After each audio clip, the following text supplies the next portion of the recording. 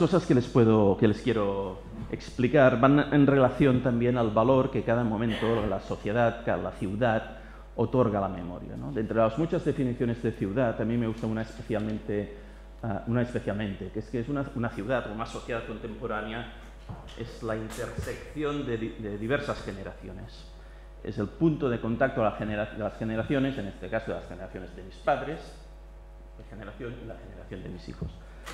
En esta intersección es donde debemos encontrar el valor exacto que queremos dar en cada momento determinado a la memoria.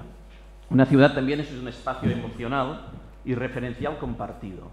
Si no, no es una ciudad, si no es una urbanización, es una agregación de edificios, de habitantes, pero si queremos darle el valor de ciudad, entendido en el valor de, de la uh, antigua civitas, sin duda tenemos que luchar, tenemos que procurar por un espacio compartido de referencias y de emociones. Y este espacio compartido de referencias y de emociones, ¿qué lo forma? No? Pues yo diría que esto le forma por el recuerdo de los vivos, y cuando digo recuerdo de los vivos me refiero no solo a las personas, sino a los hechos, y la memoria de los muertos, también de personas y hechos. Pues bien, esta intersección entre generaciones y esta intersección entre memoria de los vivos y recuerdo de los muertos es probablemente el campo de referencia, los límites, los límites del campo en el que se deben encontrar las, las políticas de memoria. Es evidente que en cualquier sociedad también hay un combate de memorias dispares. Nadie pide unanimidad en la recuperación, en la, visión contemporánea de la memoria. ¿no? Pero este combate de memorias dispares, sin duda, la que se acaba imponiendo, la que se acaba configurando como el canon, si me lo dejan decir así, el canon de la memoria contemporánea, se encuentra en este terreno central, en esta intersección que ahora les decía. Hace unos días inauguramos una exposición de arte contemporáneo en el Centro de Arte Contemporáneo de, de Fabra y Coats, que es en, San Andreu, que lleva como título Futuros Abandonados. Y el comisario de la exposición, Martí Perán, profesor creo de la Universidad de Girona, Martí Perán decía una cosa que me parece una reflexión muy interesante y que también viene a colación probablemente de lo que estamos discutiendo hoy aquí. Él decía que uh, nuestra generación, la generación uh, más o menos de la mi edad, yo voy a hacer 50 años muy pronto, nuestra generación es la primera generación que puede sobrevivir a su propio paisaje y a, y a, las palabras y a los conceptos que vio cuando, cuando nació. ¿no? Y esta reflexión me parece muy interesante porque hasta ahora el cambio en el paisaje, en el paisaje físico, en este momento estoy diciendo, pero también sin duda en el paisaje emocional, en el paisaje de las ideas y también el paisaje de las palabras, el paisaje de los conceptos, en nuestra generación está adquiriendo una velocidad de cambio uh, muy acelerada en relación a otras generaciones. ¿no? Y esta idea de que nosotros somos probablemente la primera generación que puede sobrevivir a nuestro paisaje, al paisaje físico que vivimos al nacer y a las palabras, a los conceptos que también um, nos encontramos al nacer, me lleva a otra reflexión, ¿no? que es la, la, necesidad urgente que tenemos de consolidar este tipo de memorias, insisto, emocionales o memorias históricas, en este caso para nuestra generación. La aceleración de la historia, estamos viviendo un momento de aceleración de la historia, la aceleración de la historia es también la aceleración de la inercia de la desmemoria. ¿no? Es una frase un poco larga, pero la aceleración de la historia, la capacidad que tenemos, aceleración de la historia o del conocimiento de la historia, porque es evidente que ahora desde cualquier rincón del mundo podemos saber qué pasa en cualquier otro rincón del mundo. Esta aceleración de la historia es también la aceleración de la inercia de la desmemoria. No digo que aquí haya una voluntad explícita de olvido, pero sí que la luz de información, la luz de datos, la luz de hechos históricos, pues hace que se entre en un terreno también de relativización de, uh, de nuestra memoria y de nuestra historia. Y esto es un riesgo que hay que tener presente. Curiosamente o paradójicamente, también paralelamente, nunca habíamos tenido tantas posibilidades como ahora para salvaguardar la memoria, para salvar la memoria, ya sea a nivel documental, ya sea a nivel emocional, ya sea a nivel de posibilidades. ¿no? Por tanto, nos encontramos sin duda en un momento, una encrucijada en que debemos movernos entre, o que debemos tener presente que a la vez que tenemos más medios que nunca para salvaguardar esta memoria, más capacidad que nunca para salvaguardar esta memoria, también tenemos más riesgo que nunca de que la inercia de, la aceleración de la historia, como se ha llamado a decir, que esta inercia nos lleve precisamente al olvido. Por tanto, se imponen, mi criterio, por esto celebro que estemos hoy aquí, unas políticas públicas orientadas precisamente a salvaguardar esta memoria con los ah, puntos en común que antes decía. Intentar no consensuar, porque la memoria en este caso no se consensúa, sino intentar representar aquella intersección de valores, de emociones que las distintas generaciones que en un momento determinado actúan sobre una ciudad puedan ah, sentir como compartidas, tanto emocional como, como físicamente. ¿Cómo lo hacemos en Barcelona? Y ahora me voy a referir a algunos puntos, algunos puntos específicos. Nosotros lo, hacemos desde los centros patrimoniales propios, después me voy a referir los museos, el Born que se ha hablado, etcétera, es decir, los que tienen esta función, pero también intentamos hacerlo de una forma transversal, que llegue a todos los rincones. Y en este sentido nosotros tenemos ah, dentro del Ayuntamiento de Barcelona organizadas tres, tres comisiones que de una manera u otra consideran o tratan este tema. La primera es una que tiene un nombre obvio, que es la Comisión de Memoria Histórica. Y precisamente con su nombre ya, explica bastante a lo que hace, ¿no? que es intentar recuperar aquellos hechos que a, vez, a, veces el olvido, la inercia de la historia o, unas, o no la inercia o, unas políticas específicas han considerado, uh, han, han estado olvidadas durante mucho tiempo. En este sentido, la Comisión de Memoria Histórica basa su actuación principalmente en base a la colocación física de placas de la memoria en la ciudad, basa también sus políticas en las publicaciones de la ciudad, publicaciones impulsadas por la ciudad, y basa también la política en sugerencias a los distintos centros patrimoniales para que ah, hagan ah, seminarios, actuaciones e intervenciones. Voy a poner un ejemplo de hoy mismo, que creo que hoy mismo sale en la prensa. ¿no? la recuperación del Turó de la Rovira. Turó de la Rovira es un espacio que, por cierto, creo que ganó un premio, ¿no? ganó un premio del espacio público, precisamente que se dio aquí en el CCCB. Uh, de la Rovira es un espacio de la ciudad donde hay diversas capas de, memoria. No, voy a las más antiguas de los primeros pobladores de Barcelona, sino, por ejemplo, el fenómeno de las barracas del, franquismo, del franquismo, pero antes, lógicamente, había sido un espacio donde se situaban las baterías antiaéreas uh, que defendían Barcelona durante la Guerra Civil.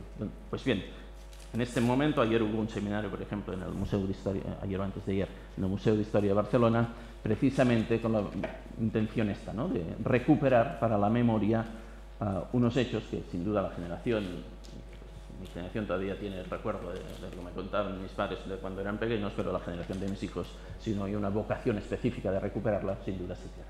Por tanto, la Comisión de Memoria Histórica. ¿Formada por quién? Por gente del, propio ayuntamiento, pero también por gente de fuera del ayuntamiento. Y esto es una constante que se va a repetir en las otras dos comisiones que les voy a contar. Creemos que la memoria histórica no es patrimonio de la administración que en aquel, o del partido político que en aquel momento esté gobernando la administración, sino que tiene que incorporar el mundo académico, el mundo de las entidades, el mundo del asociacionismo. Y así se hace en este caso.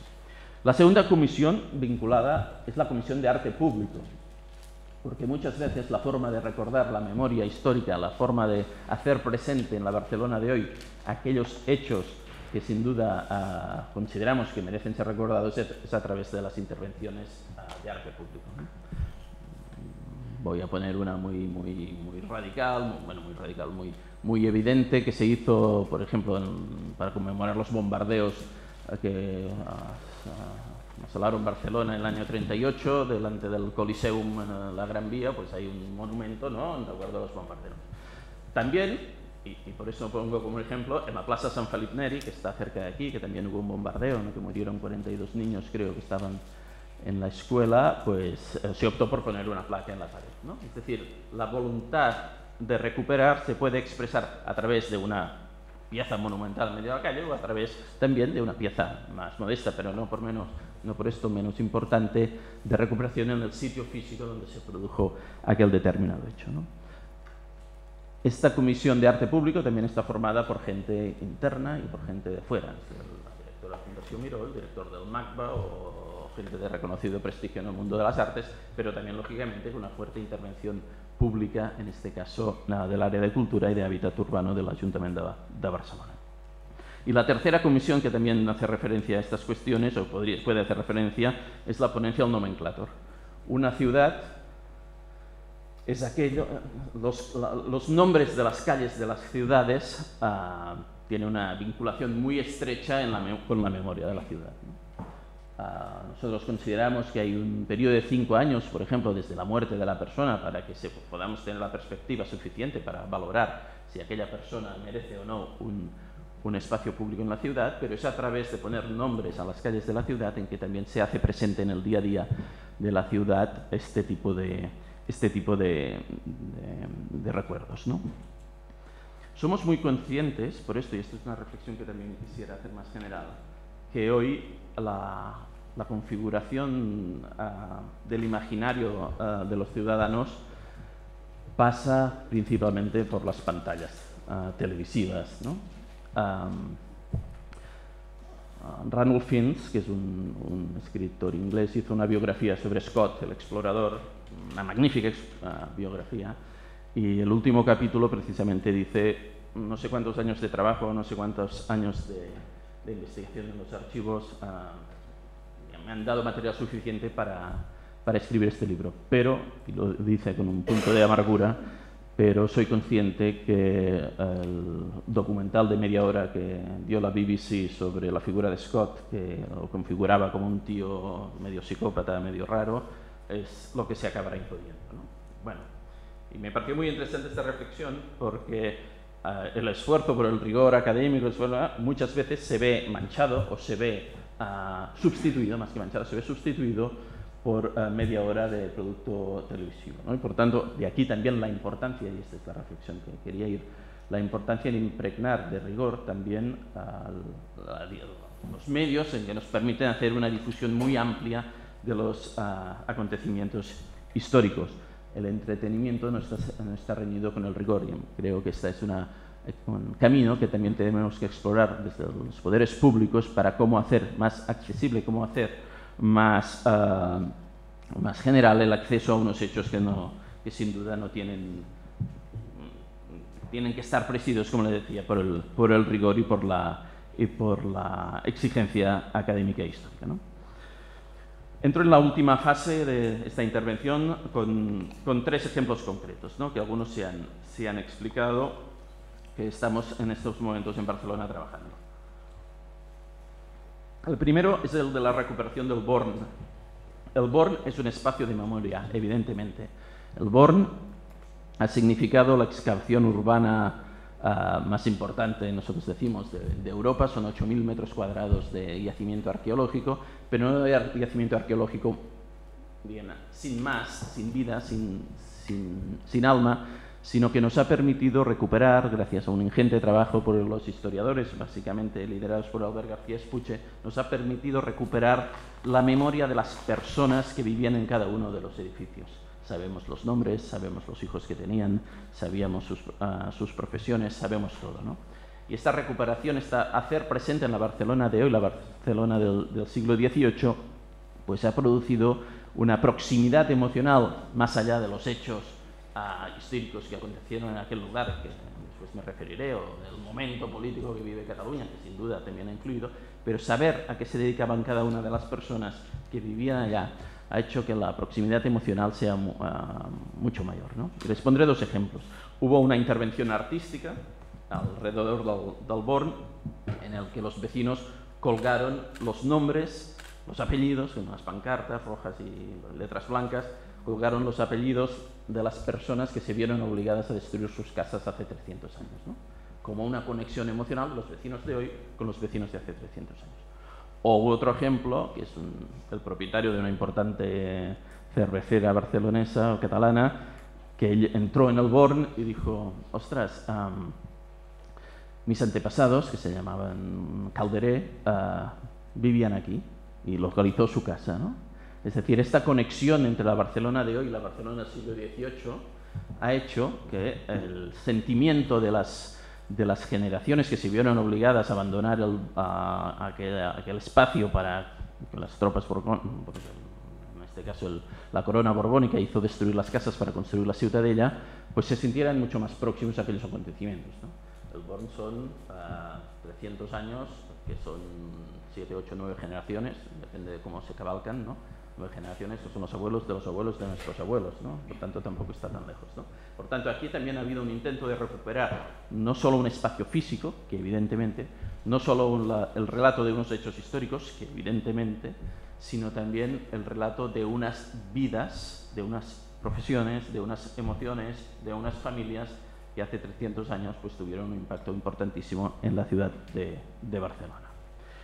El segundo ejemplo que me quería referir es el del Museo de, el Castillo de Montjuïc, el Castell de Montjuïc. El Castell de Montjuïc es también, tal, es tal vez, el ejemplo mayor de que todavía hay la sensibilidad sobre la memoria histórica está muy a flor de piel y por tanto tenemos que vigilar o tenemos que ser muy cuidadosos con aquello que explicamos, con aquello que hacemos. Bueno, el Castillo de Montjuïc, como cualquier espacio público de la ciudad de Barcelona a lo largo de los años, ha tenido episodios de todo tipo. A nosotros nos duele y nos y lo identificamos principalmente por la, por la ejecución en el Castillo de Montjuïc de dos personas que tenemos muy, uh, muy, muy próximas emocionalmente. ¿no? Una es un pedagogo, Francesc Ferrer Guàrdia, ya que estamos en la semana de la ciudad, del Congreso de las Ciudades Educadoras, pedagogo Francesc Ferrer Guàrdia, que fue ejecutado en el Castillo de Montjuïc, y, lógicamente, de uh, Lluís Companys, presidente electo democrático de la Generalitat de Cataluña, que fue el único presidente electo que fue ejecutado durante, uh, en Europa, en este caso, durante la, el, siglo XX, ¿no? la parte central del siglo XX, como consecuencia de la guerra civil y de la, y de la guerra mundial. ¿no? Pues bien, uh, pero lógicamente en el Castillo de Montjuïc ha pasado muchas cosas. Hay muchas familias de hoy de Barcelona que tuvieron sus padres, sus abuelos, o ejecutados o presos en el Castillo de Montjuïc. ¿no? Por tanto, hay una sensibilidad especial que nos hace o que nos obliga a tratar estos temas con la máxima delicadeza institucional posible, pero lógicamente uh, hablando claramente de cuáles fueron los hechos que se sucedieron. En el Castillo de ha, además, hay otra, otro factor importante que es que hasta hace muy pocos años el Ministerio de Defensa estaba, estaba implicado en su gestión. De hecho, todavía aspira a estar implicado en su gestión a través de, la, de un consorcio que quiere montar sobre, sobre un centro de cultura de la paz. ¿no? En cualquier caso, um, este es un claro ejemplo, conjuntamente con la Ciutadella, de que dos grandes equipamientos que queremos uh, culturales de la ciudad fueron construidos en su momento no para defenderla, sino para atacarla. Desde el castillo de Montjuïc se ha atacado la ciudad muchas diversas veces y desde, el, y desde la antigua fortaleza que estaba en la, en la ciudad, ella lógicamente se hizo para controlar la ciudad, no se hizo para, para defenderla. Por tanto, esta es una cuestión que nos obliga, como les decía, nos obliga a tratar la, el recuerdo, la memoria de los vivos, porque en este caso en el Castillo de Montjuïc todavía estamos en aquello que les decía antes, ¿no? No estamos en, el, en la memoria de los muertos, en la memoria de los vivos, nos obliga a tratar estas cuestiones con, la máxima, con el máximo rigor uh, posible. Y el tercer ejemplo que les quería uh, decir y acabo. Ahora vamos a abrir dos museos próximamente uno el 13 de diciembre, que es el Museo del Diseño, el Museo del Diseño, que incluye las colecciones de artes gráficas, de artes decorativas, de cerámica y de textil. Y en febrero vamos a abrir el Museo de las Culturas del Mundo en Barcelona. Intentamos, en el relato que hacemos de las colecciones de estos dos museos, intentamos que siempre esté constante la conexión con la Barcelona de hoy, con la sociedad de hoy, o con los grupos de personas que han hecho posible que se hiciera este museo. En el caso del, del Museo del Diseño, es un museo, es un museo de los objetos cotidianos. Y esto yo creo que es muy importante. ¿no? Diríamos, y después me voy a referir a ello, que es una especie de, pre, de proforma de lo que algún día, uh, de los objetos, hoy tenemos en el Museo del Diseño aquellos objetos que de aquí dos, tres generaciones tal vez merecerían estar en un museo etnológico. ¿no? Por tanto, tenemos el Museo de los Objetos Cotidianos, objetos cotidianos contemporáneos, o de hace 100 años, o de hace 200 años, o de hace 300 años, desde los vestidos hasta, las botellas, hasta los objetos más, más próximos. Y esto también es una manera de recordar la memoria, ¿no? La memoria no de los grandes acontecimientos, no la memoria de los grandes discursos, no la historia en mayúsculas, sino muchas veces la historia en, minúsculas, la historia de cada día. Ah, creo que Ferran Soldevila, que era un historiador ah, catalán, decía en un momento determinado, dijo que Cataluña no podía ser la confederación de intereses particulares. Cataluña no podía ser la confederación de intereses particulares. La historia de una ciudad, de un país, no es tampoco la suma de muchas historias particulares, sino el, común denominador de, todas estas ah, historias particulares. Y esto también es lo que vamos a intentar explicar en el Museo del Diseño desde el punto de vista de, aquello cotidiano que ha, configurado, que ha configurado la sociedad contemporánea tal como la, como la entendemos. Y el otro museo, que es el de las culturas del Mont, que lo vamos a abrir justo delante del Museo Picasso, en la calle Moncada, también vamos, este es un museo de arte, básicamente de esculturas de todo el, de todo el mundo, y, tiene, nosotros lo, planteamos como una evolución del museo etnológico, de los, museos etnográficos habituales. Pero esto, por ejemplo, estamos haciendo un trabajo, el museo todavía no ha abierto, pero sí ha abierto la web, sí que hacemos exposiciones temporales, sí que hacemos a, través de las redes sociales sí que, sí que funcionan, intentamos conectar aquello que vamos a exponer en el Museo de Esculturas del Mundo con aquellas colectividades de barceloneses de hoy, de catalanes de hoy, pero que tienen un origen distinto al europeo. Creemos que esto también es muy importante para que las personas que, han venido aquí desde hace 15, 20, 30 años o 5 años puedan también no es la palabra reconciliarse con su pasado, sino sentirse identificado con sus, tradiciones, con sus raíces y con su, con su background ah, cultural. Nosotros siempre decimos que Barcelona, o cuando me toca explicar Barcelona, cómo es Barcelona, yo siempre explico que en catalán hay tres palabras que se parecen mucho y que explican muy bien Barcelona. Una palabra es pont, puente, la otra palabra es port, puerto, la otra palabra es porta, puerta. Y Barcelona siempre ha sido una especie de, puerta, de puerto y de puente. ¿Entre qué? Entre los, continentes, Europa, África, y si contamos Oriente Medio a un poco de Asia, ha sido un puerto también de conexión de las ideas, de, llegada de, de, las principales corrientes de pensamiento del mundo y a la, hora, y a la vez ha sido también una puerta ¿no? donde proyectar estas mismas ideas, estas mismas líneas de pensamiento contemporáneo. ¿no? Pues bien, nosotros tenemos esta voluntad de que todas aquellas comunidades que comparten un proyecto compartido con nosotros en estos momentos, sea, cual sea su origen, tengan bien presente sus raíces y su origen. Me parece que esta también es una manera de recuperar, de recuperar la memoria. Por mi parte ya está. Ah, no, les voy a marear más ah, con, esta intervención, pero sí que quisiera acabar con la afirmación de que Barcelona, como ustedes saben, es una ciudad cosmopolita, entiende el cosmopolitismo como mirarse el mundo, mirarse el cosmos desde la polis, desde la ciudad. Un cosmopolitismo pensado en que cualquier cosa que viene de fuera es mejor, un cosmopolitismo pensado en que lo que tú tienes no vale nada, no es cosmopolitismo, esto es un provincialismo puro y duro. Por tanto, nuestra, nuestra perspectiva del cosmopolitismo es cómo participamos, en este caso como Barcelona o como Cataluña, en el gran debate de las ideas contemporáneas. Cómo nos miramos el cosmos, cómo nos miramos el mundo desde la polis, cómo nos miramos el mundo desde la ciudad. Y esta, mirada de la ciudad no es una mirada única, no es una mirada en una sola dirección, sino que es una mirada formada por el, uh, en catalán decimos solatge, en castellano, por el pozo, perdón, por el pozo de muchas generaciones, de muchas gentes de origen distinto, de muchas gentes de procedencia distinta, pero que tenemos en común que compartimos un proyecto de futuro. Gracias.